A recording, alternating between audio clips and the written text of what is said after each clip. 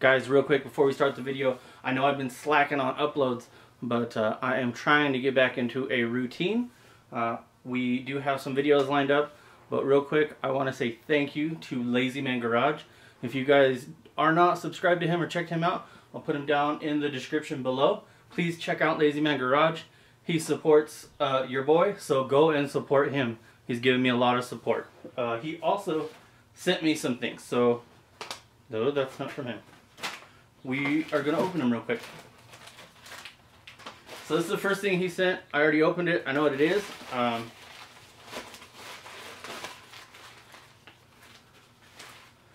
sweet.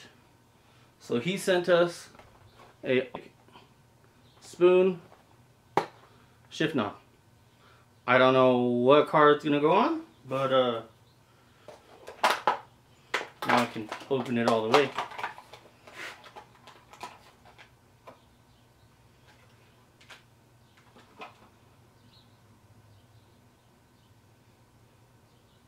Duracon. It's a, a Duracon. But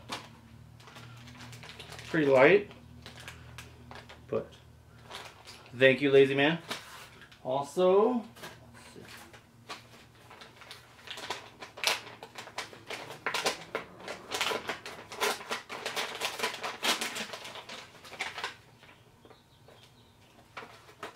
Oh, way fucking cool. Sent us some kick-ass. I love his logo. I love his intro too. Uh, Lazy Man Garage stickers.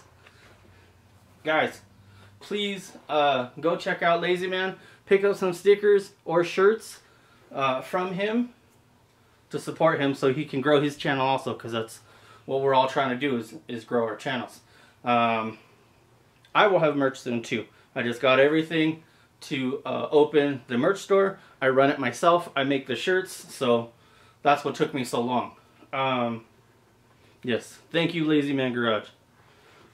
Also, guys, I've gotten a lot of support from uh, Lazy Man Garage, Chris Sadowski, uh, Young Static, Dana. So, guys, please go check them out. Uh, they give me huge shout outs and help me get to 225 225 subscribers. Some people may not think that's not a lot, but hey, it's a lot to me. So please go subscribe to them if you haven't. Also, uh, I want to do a t-shirt giveaway. I will put up a picture of the t-shirt right here. So to enter the giveaway, you have to be subscribed to the channel, subscribe to my Instagram, which are all in the links down below, and comment the dude. Wait, wait, let me let me explain something to you. Um, I am not Mr. Lebowski. You're Mr. Lebowski. I'm the dude. So that's what you call me, you know? Uh, that or uh, his dudeness or uh, duder or, uh, you know, El Duderino if you're not into the whole brevity thing. Uh, Are you employed, sir? in the comments below. I will pick a winner on the the 30th of this month. And we're going to give away a shirt, stickers, um, and maybe something else. So, now that I got that out of the way, please enjoy the video, guys. Also, comment, like, subscribe, do all the things. Let's grow the channel. Let's check it out.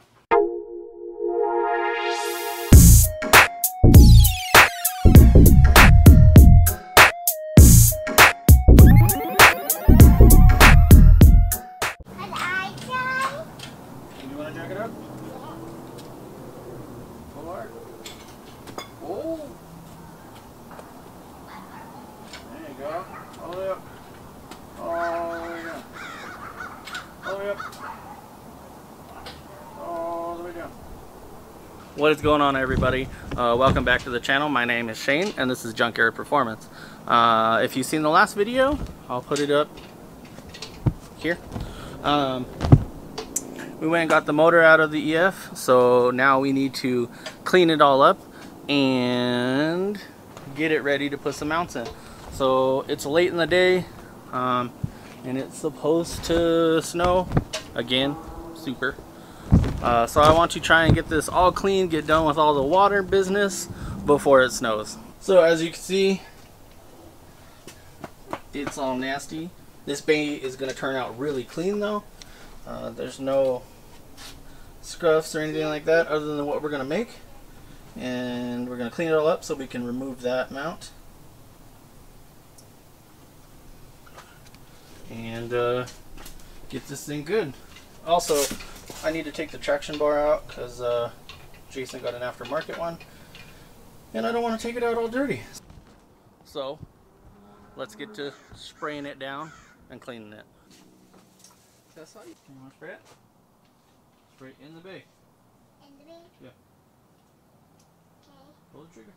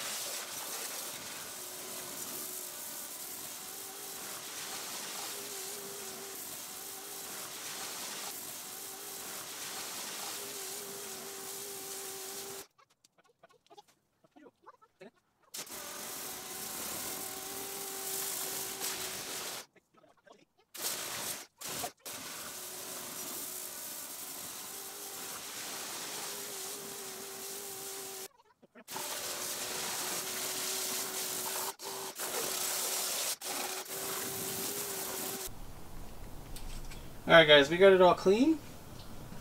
As you can see. Gotta clean the hood a little better. Look at that rust spot. But uh yeah. That turbo nozzle works really well. You can see you got all that grease out and everything. But so I'm gonna spray it down one more time and then call it good.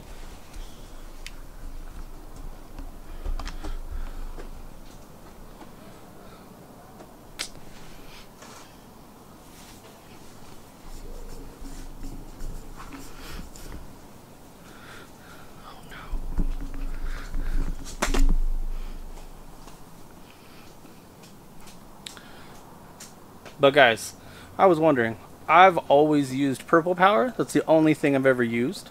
Uh, let me know in the comments below what you guys use.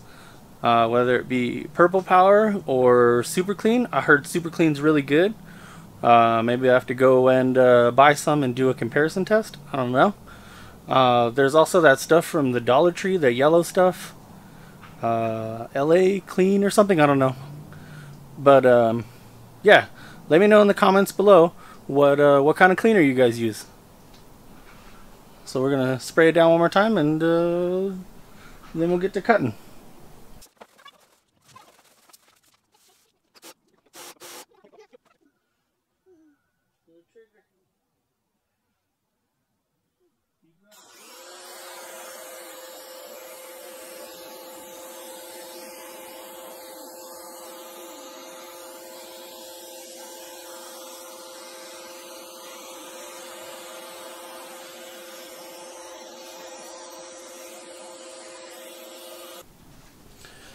What is going on you guys? Uh, so it's a couple days later and everything is all nice and dry. Look at those shock towers. Look how clean they are. We got a little bit of touch up and we are gonna have to clean it one more time after we uh, cut that mount out and put the new mounts in get rid of the traction bar. But all in all it looks good. I wonder if Super Clean would have done better than Purple Power. We still have some grease right there. And a few spots. But other than that, this thing is clean. Uh, right now I'm going to try and get the uh, front end off real quick before I have to go and pick up the kiddos.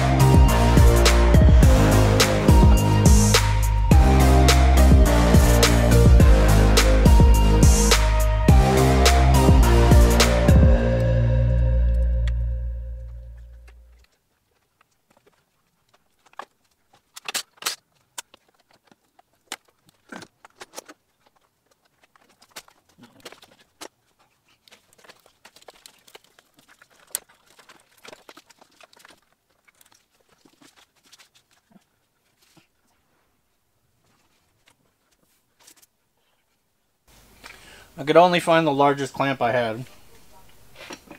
You gotta squeeze the uh, proportioning valve together so it doesn't come apart because you need to swap this around to bolt it there because it's got to go against the firewall.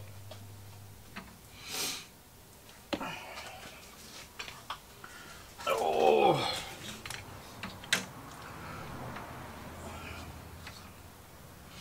This isn't going to work.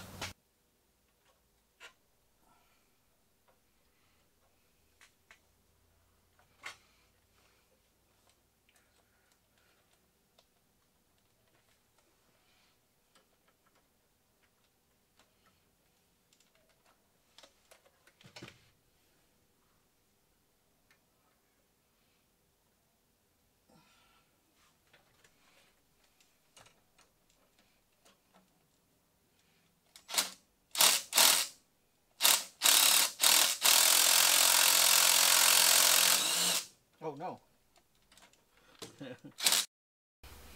Don't try and get in a hurry when you're doing this. I stripped it.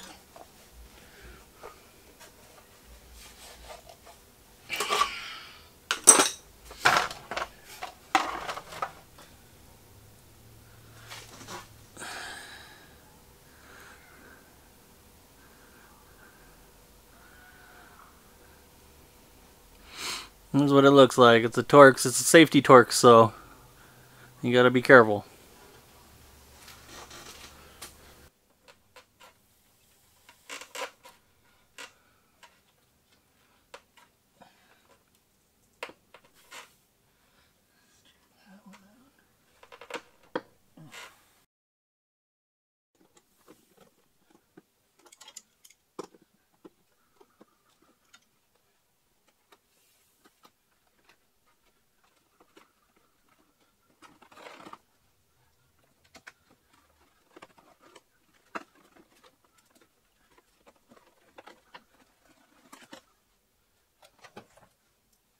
Alright. So, here I am, ass in the engine bay. Um, we got the brake lines bent over. I still have to correct this one so it's not as bent and we'll bolt it to the firewall once I get uh, the riv nuts and right now I'm going to use this fancy dancy spot weld drill bit. This is just from Harbor Freight. These things work really well.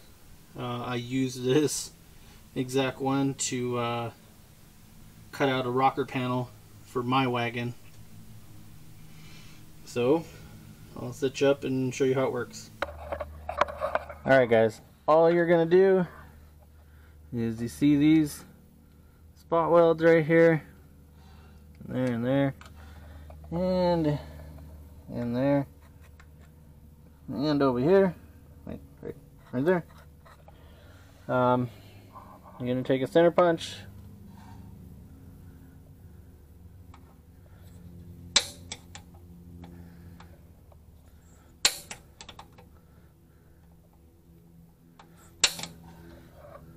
That's not very center. But it'll work. And then when you take your your bit focus. It's supposed to have a point on it but mine doesn't. It'll sit.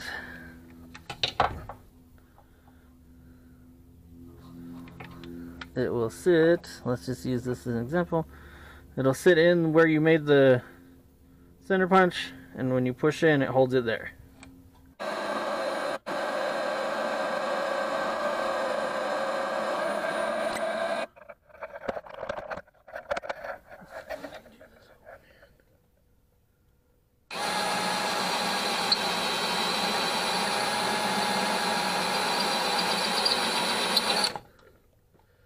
See?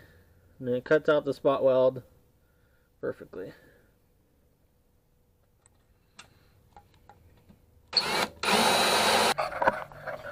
Don't forget to lubricate it. That's what she said.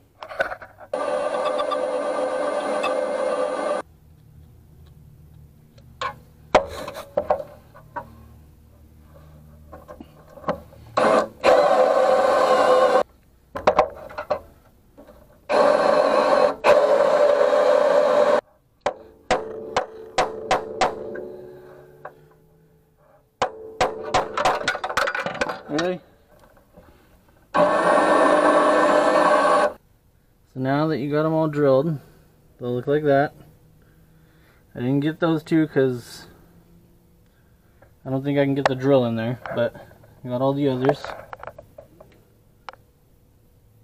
You take a, well I'm using a screwdriver because that's what I got.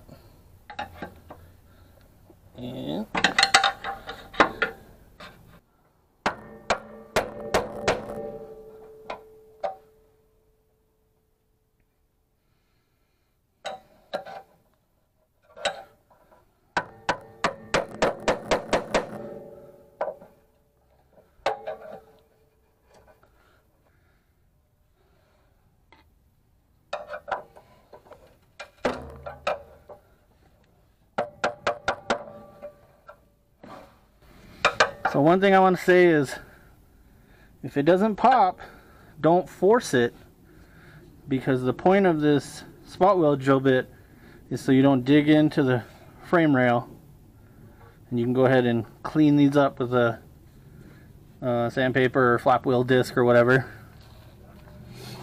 So since I can't get to this one with the spot weld drill bit, I'm just gonna break it off and then grind it smooth.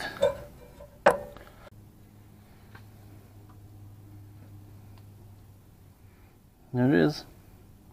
Look, they don't even paint the backside.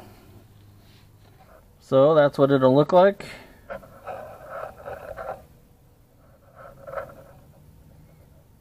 Now I need to go get the flap wheel disc and clean this up. I still gotta clean it up, but uh, that's what it's gonna look like. Kinda, but cleaner. Hell yeah. Alright guys, when you're uh, grinding these welds out, uh, don't force it. Don't try and dig into it. Let the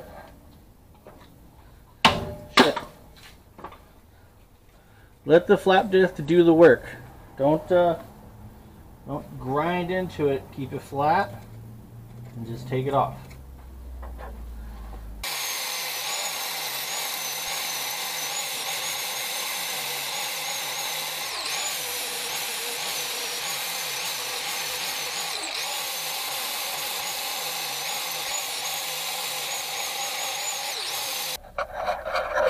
All right so we got it all cleaned up.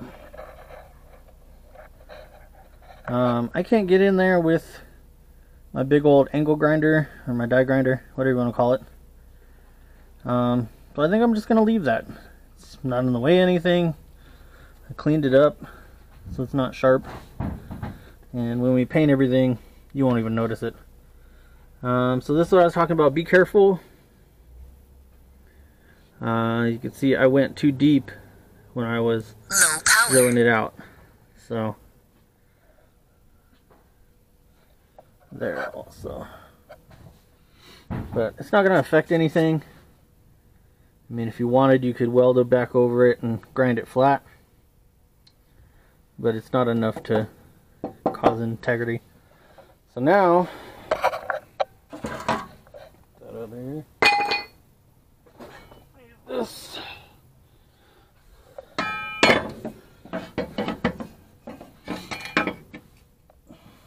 So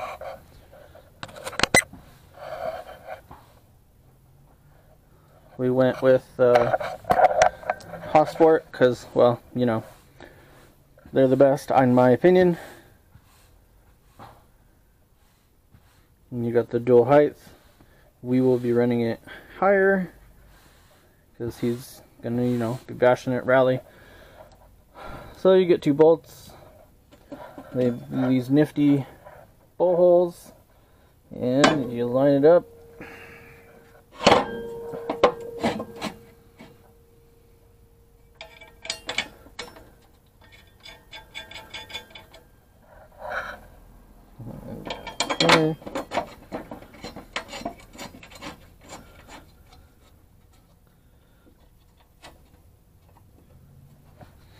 Just like that.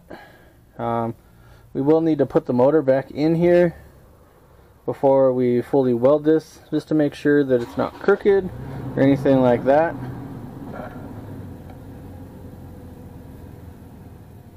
But right now, I am going to take Fancy Dancy, Sharpie, mark where it sits.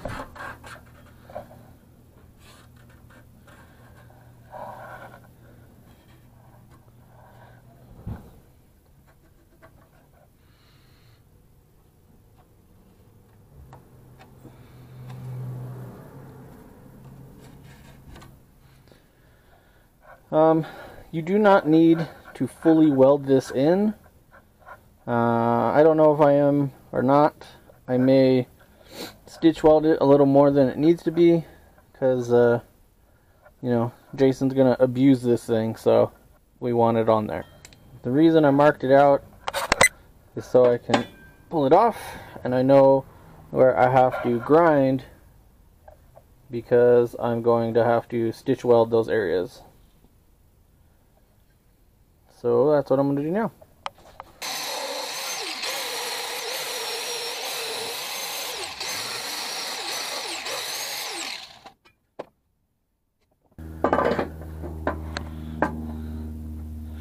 That's what it'll look like when you put it on to weld it. Um, we have to go buy some weld through primer and a can of paint to match the engine bay so we can Pen everything all snazzy. So now we need to remove the stock traction bar slash cross member, get all the plastics out, and get all the mounts in so we can uh, place the motor in so we can tack this motor mount in place. And then we gotta take the motor back out, clean everything, paint it, and uh, then we can put it back in for good.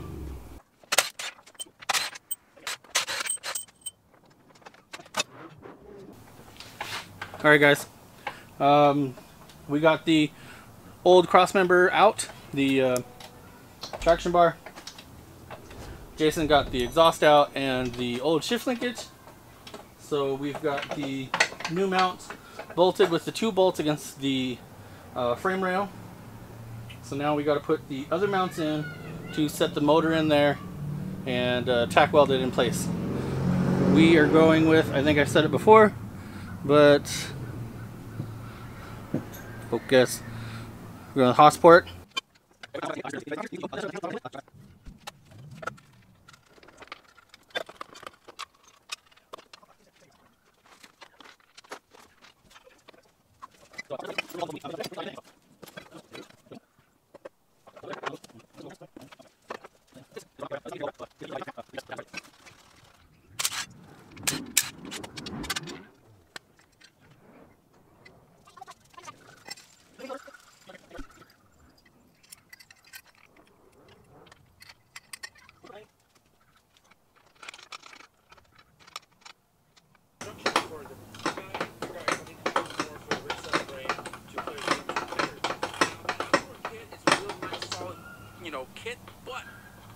they don't have any instructions for their bolts. There was a ton of them. I didn't know which one went where. There was different length, but I kind of sort of figured it out. There were four of these little guys right here. They were all trying to figure out how to mount that these were for the rear uh, bracket. That rear bracket. They all use the same pitch, and they're all Can't figure it out. uh. Static's helping me out. Thank you, place. I found out there was two of these length. and Thank you, Dana.